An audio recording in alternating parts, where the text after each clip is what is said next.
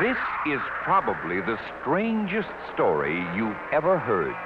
It's about two little men who live out in space. That's us, Noodnicron. Now, that's Omicron. He's from the planet Venus. And his name is Noodnicron. He's from Jupiter. And no one can understand the way they talk over there. And the Sputnik. We call them satellites. Yes, well, a Sputnik is a satellite. Now, the Sputnik is from still another planet, one we call Earth.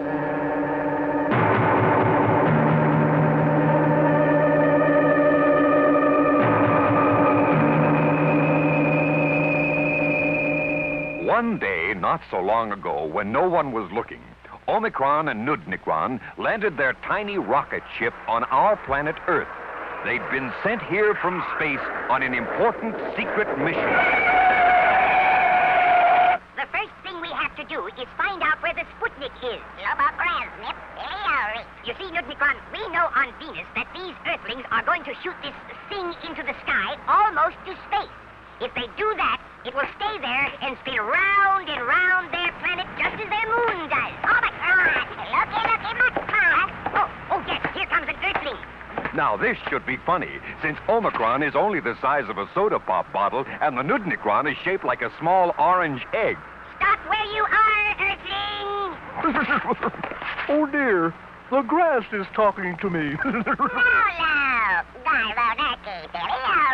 Why, no, it's not the grass at all. It's a little orange egg. Earthling, where is the Sputnik?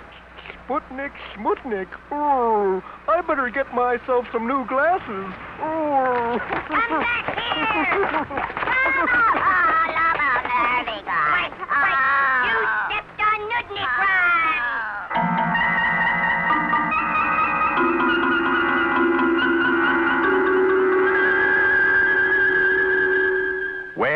The was not seriously hurt, so they continued to search the Earth for the Sputnik.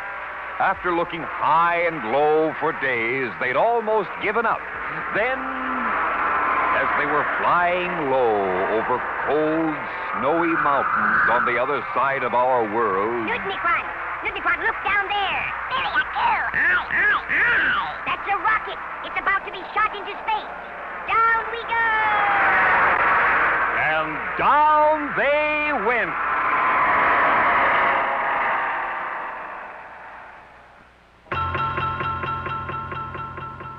Omicron and the Noodnicron tiptoed into the laboratory where the scientists were getting ready the last piece to go into the rocket. Come on, let's hide inside this round metal ball here. Nip to gilly We can watch them work through this little window and they won't see us.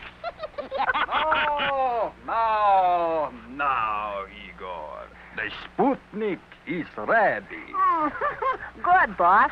Close the door, and we will put it into the rocket. All righty, boss.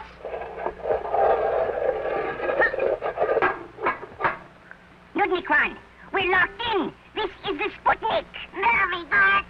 Monkey Mark. And before they knew what had happened,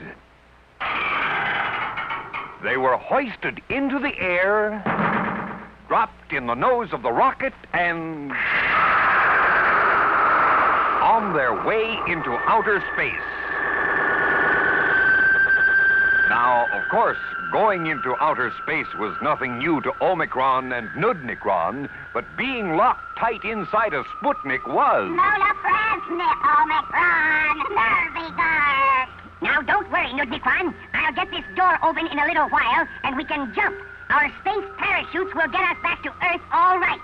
Lobophilio, yellow, yellow. Oh, the only thing I worry about is a wreck with one of our spaceships. So look, you go near that window over there and shout like a horn. Beep, beep. Yes, that's the way, and we'll warn any ships nearby, okay? Beep, beep. Yes, start now. Beep, beep. Beep, beep. Beep, beep.